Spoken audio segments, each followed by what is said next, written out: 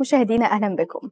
كشف مكتب التحقيقات الفيدرالي الأمريكي اف بي اي لأول مرة عن وثائق تتحدث عن أن الملكة البريطانية الراحلة إليزابيث الثانية واجهت تهديدا محتملا بالاغتيال خلال زيارتها للولايات المتحدة 1983 وأصدر مكتب التحقيقات الفيدرالي عددا من الملفات المتعلقة بسفريات الملكة الراحلة إلى الولايات المتحدة ذلك بعد وفاتها العام الماضي.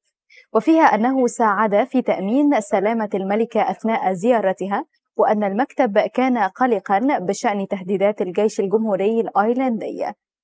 وحسب وثائق مكتب التحقيقات الفيدرالي FBI فإن التهديد بالاغتيال وجه إلى ضابط شرطة في سان فرانسيسكو مبنيا بل مبينا أن الضابط كان يتردد على حانة آيرلندية في سان فرانسيسكو وحذر من إمكانية حصول عملية الاغتيال بعد أن تلقى اتصالا من رجل قابله في المكان.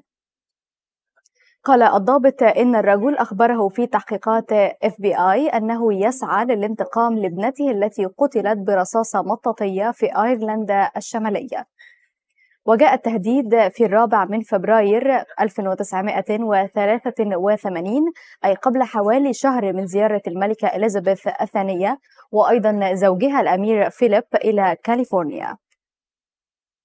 جاء في هذه الوثيقة كان يحاول إيذاء الملكة إليزابيث وسيقوم بذلك إما عن طريق إسقاط بعض الأشياء من جسر البوابة الذهبية على يخت بريطانيا الملكية عندما يبحر من تحته أو سيحاول قتل الملكة إليزابيث عندما تزور Yosemite National Park.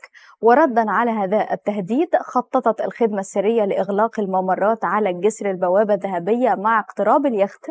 ومن غير الواضح ما الإجراءات التي تم اتخاذها في منتزه يوسيميتي لكن الزيارة حتى الآن مضت قدما ولم ينشر مكتب التحقيقات الفيدرالي أي تفاصيل عن الاعتقالات. وأيضا تم تحميل ذاكرة التخزين المؤقت المكونة من 102 صفحة إلى موقع معلومات مكتب التحقيقات الفيدرالي بعد طلب قانون حرية المعلومات الذي قدمته وسائل الإعلام الأمريكية. مشاهدينا متواصلون معكم في تغطية إخبارية على مدار الساعة من تلفزيون اليوم السابع. شكرا جزيلا وإلى اللقاء.